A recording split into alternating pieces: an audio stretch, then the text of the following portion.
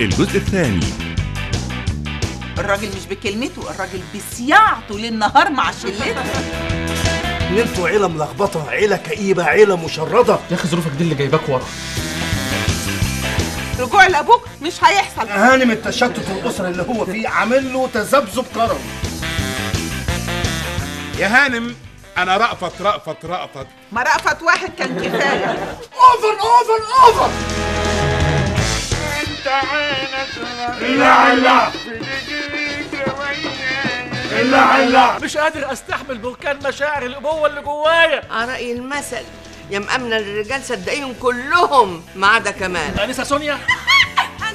مزة مزة أنا شرفني يا وليد يا ابني إني أجي أتقدم وأطلب منك إيد الآنسة مامتك. في الواقع يا كمال ولا تحب أقول لك يا بابا؟